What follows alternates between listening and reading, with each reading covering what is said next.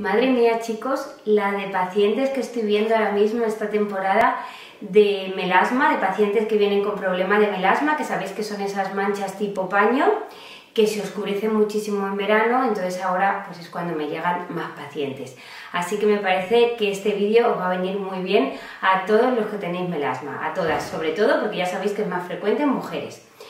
Os explico cómo hacemos el tratamiento en Derma4U. La parte de tratamiento médica la hacemos con peeling despigmentantes, sobre todo hay un peeling de Mediderma que me gusta mucho, el Melaspil, que es antiguo pero me da muy buenos resultados, y también con una mascarilla despigmentante muy potente, con hidroquinona muy concentrada, que da muy buenos resultados y que luego requiere tratamiento en casa.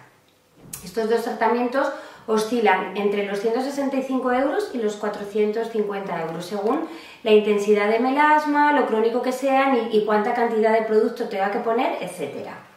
En cuanto al tratamiento de cabina, que es súper importante en el melasma, porque una vez que hemos conseguido aclarar en un porcentaje muy alto, la verdad que conseguimos aclarar muchas veces en un 80%, la clave en un buen tratamiento de melasma es conseguir mantener el resultado. Entonces, para esta parte es para la que viene súper importante el mantenimiento con los tratamientos de cabina.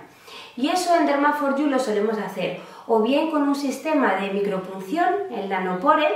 con eh, serum que llevan, que, se inyectan, bueno, inyectar, o sea, un sistema de microagujitas chiquititas que al pasarlas por encima de la piel van haciendo que penetren esos serum que llevan principios activos, sobre todo tranexámico.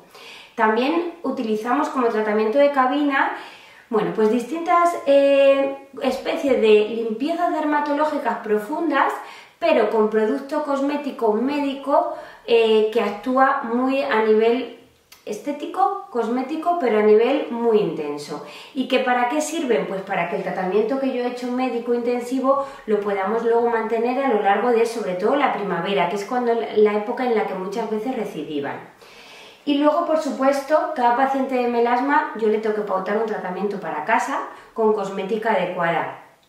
Eh, Muchas veces va a incluir la vitamina C de día, va a incluir el retinol de noche, también vamos a incluir como principios despigmentantes el coge con la arbutina, el acelaico, la niacinamida, un montón de principios activos que yo voy a escoger de las distintas marcas que tenemos cuál es más adecuado para vosotros y también me voy a acoplar a vuestro presupuesto, porque es cierto que la marca Zoe Skin es una marca fantástica, buenísima, SkinCeutical, me encanta, pero para el que se le queda un poco grande en el presupuesto tenemos otras alternativas como son Ole Skin y Mediderma y Universkin que estaría ahí entre medias, o sea que mm, hay presupuestos para todo. La clave es que seáis muy constantes y que tengáis claro que una vez que nos metamos en el tratamiento de melasma vamos a conseguir resultados, se puede solucionar el melasma, pero no con me hago una cosa y me olvido, sino me hago una cosa, me trato y lo mantengo, con mi esfuerzo en casa y mi esfuerzo